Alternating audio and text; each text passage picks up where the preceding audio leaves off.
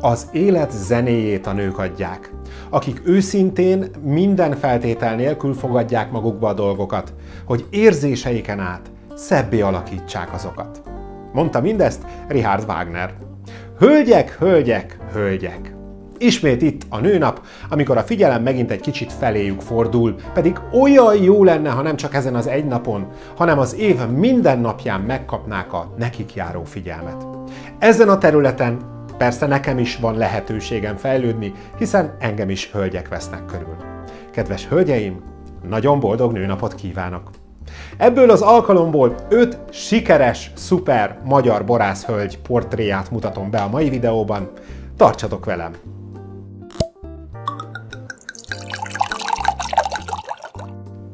Palancsa Laci vagyok, borvlogger, ez pedig a Dugó Húzó. Tele, tele, tele videós témákkal, ahogy itt látszik is, csak egy kicsit belepörgetek, és természetesen várom a feliratkozókat, akik szeretik az ilyen borhoz kapcsolódó témákat. Itt van a feliratkozás gomb, meg is mutatom, itt van, ha rákattintasz, akkor fel vagy iratkozva, és mellette van egy kis csengő, ha pedig azt is bekapcsolod, itt van, hogy összes személyre szabott vagy semmelyik, legjobb az összesre nyomsz, akkor természetesen értesítést kapsz mindig az új videókról, amelyek megjelennek a Dugóhúzó csatornán. Egyébként minden héten, pénteken, 18 órakor jön az új videó. Most pedig ugye, mivel nőnap van, a hölgyekkel foglalkozunk, szám szerint 5 magyar borászhölgyel.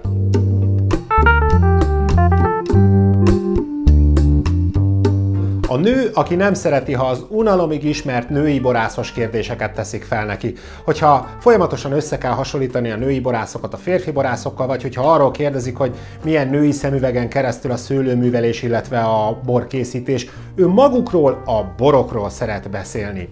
Még mindig nagyon fiatal, de már így is óriási tapasztalatokkal rendelkezik, hiszen már 20 évesként ő volt a Gróf Degenfeld birtok fő borásza, és aztán volt szerencséje a Béres Szőlőbirtok és Pincészet létrehozásánál is jelen lenni, ott is megkapta a főborászi feladatot, és rábízták a borok készítését, de közben már fogalmazódott a fejében a saját cél, amit testet is öltött a Tokaj Nobilis pincészetben.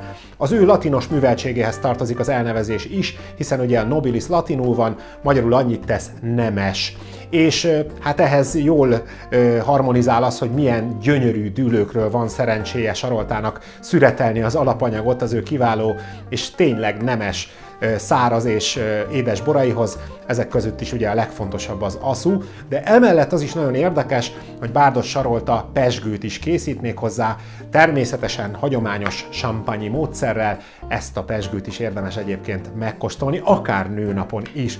Ja, és az is nagyon fontos, hogy boldog édesanya. Neki is és minden hölgynek boldog nőnapot!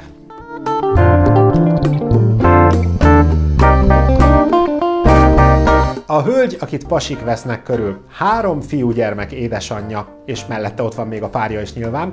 És egyébként nagyon érdekes, hogy a borászati tanulmányai folyamán is leginkább férfiak hatottak rá. A borászati szakközépben Gazdag László volt a mentora, később pedig a nyakas pincészetnél Maja Ernő is benne látta meg az utódját.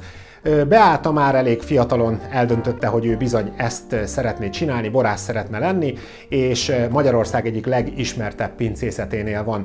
Egyébként a DR az nem véletlen a nevében, hiszen a diploma munkája mellett le is doktorált, és mind a kettőnél a téma az a pesgő készítés volt. Egy nagy álma az, hogy egyszer hagyományos módszerrel elkészíthessen egy pesgőt a nyakaspincészetnél, és hát nyilván majd valami szép alkalomra azzal kocintani. Reméljük, hogy nekünk is lesz szerencsénk majd azt a jó kis pesgőt kóstolni. Egyébként a nyakaspincészet borai most már mondhatjuk azt, hogy hosszú-hosszú évek óta, sőt évtizedes távlatban beszélhetünk erről, a nemzetközi megmérettetéseken is, meg a honi versenyeken is nagyon-nagyon szépen teljesítenek, és ez is mutatja be át a munkájának a színvonalát, mint ahogy az is, hogy az elmúlt két évben, 2019-ben és 2020-ban is az év bortermelője választáson bekerült az öt jelölt közé. Azt gondolom, hogy ebbe a szűk körbe bekerülni már ez is önmagában nagyon nagy dicsőség, és minden esély megvan arra, hogy a jövőben akár a második női borász legyen, aki megkapja, elnyeri ezt az év bortermelője címet. Szorítunk, hogy így legyen. Boldog nőnapot!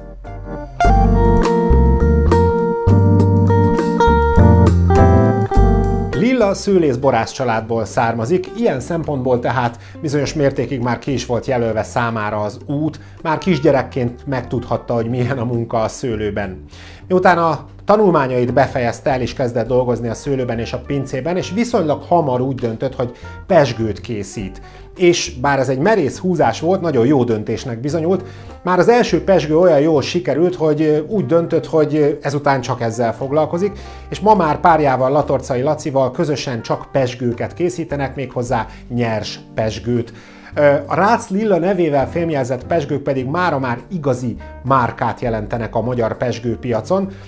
Természetesen tradicionális eljárással készülnek ezek a pesgők, és a virágos mintájukról nagyon jól megismerhetőek, felismerhetőek már messziről, és az évek tapasztalatainak, meg az alázatnak köszönhetően ma már mondhatjuk azt, hogy igazi eleganciát képviselnek a Rác Lilla pesgők. Egyébként ő is boldog édesanyja. Neki is, és minden hölgynek nagyon boldog nőnapot!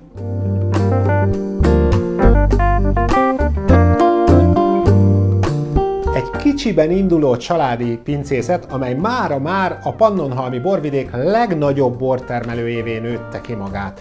És mögötte egy hölgy, méghozzá nem is akármilyen hölgy, hiszen Zsuzsanna több diplomás, nyelveket beszélő, világot látott ember, aki nemzetközi tanulmányokat folytatott Olaszországban és Svájcban egyaránt, és hát top munkahelyeken vagy top helyeken is megfordult. A története nagyon érdekes, mert egyszer viszont épp megszűnt az a pozíció, amelyben ő dolgozott volna, és hazatért, és éppen belecsöppent egy szüretbe. Annyira megtetszett neki a folyamat, meg a világ, amit nyilván már addigra azért ő ismert, hogy azóta is ott maradt. Természetesen közben képezte is magát, és ő is szőlészborász végzettséget szerzett, és ennek köszönhetően ma már kiváló borokat készít, kiváló italok kerülnek ki a keze alól. Ez olyannyira igaz, hogy rengeteg hazai és nemzetközi megmérettetésen nagyon-nagyon szép eredményeket érnek el a babarci borok. Egyébként azt el kell mondani a pincészetről, hogy leginkább reduktív fehér borokkal foglalkozik, és ezeken keresztül mutatja meg ennek a viszonylag kicsi borvidéknek a szépségét, a terroárját, és emellett azért rozét is készítenek, illetve van kisebb mennyiségben vörösbor is. No hát, Babarci Zsuzsa és a Babarci borok, akár nőnapra is.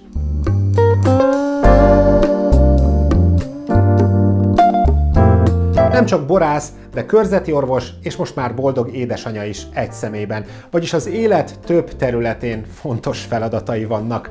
Egyébként nem volt könnyű neki az indulása abból a szempontból, hogy édesapja dr. Bussai László egy rendkívül ismert személy a magyar borásztársadalomban. Sajnos már nincs köztünk, de nagyban neki köszönhető az, hogy az egykor szemnapokat látott Zalai borvidék mára gyakorlatilag visszakerült a történelmi borvidékek magasabb szintjére.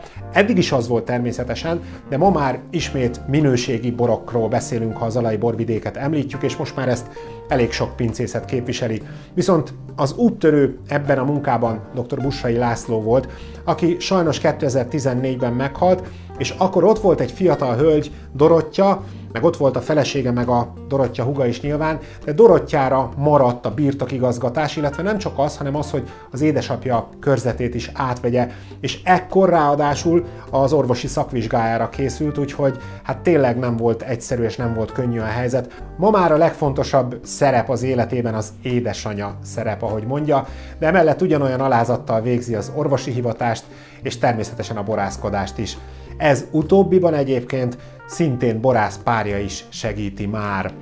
Busai Dorottya borai az eleganciáról tanúskodnak, és a sokrétűségről, sok szemszögből, sokféle módon igyekeznek bemutatni az alai terroárt és ennek a borvidéknek a szépségét. A borai, ahogy mondtam, kifinomultak és egy kicsit légiesebbek, mint mondjuk amilyenek az édesapja borai voltak.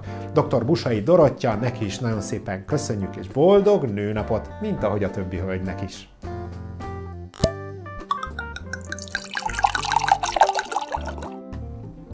Öt kiváló borászhölgy tehát, akik méltó módon öregbítik hazánk borvidékeinek hírnevét szerte a világban, és persze itthon is. Nekünk nagyon-nagyon fontosak.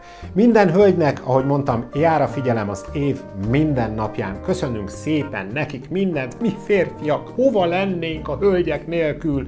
Szóval minden hölgynek figyelmet, és ami még fontosabb, szeretetet. Palancsa Laci vagyok, borvlogger, ez pedig a Dugóhúzó, ahol minden héten jönnek az újabb boros tartalmak, mindig pénteken 18 órakor. Természetesen továbbra is várom az észrevételeket, hozzászólásokat, építő kritikát, akár témajavaslatokat is, ezeknek mindnek nagyon-nagyon-nagyon örülök. Köszönöm szépen.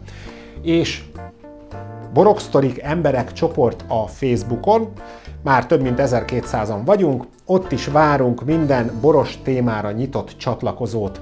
Nagy-nagy szeretettel, gyertek és csatlakozzatok hozzánk az online térben a Facebookon is. Jövő héten újabb téma. Találkozzunk akkor is. Hello!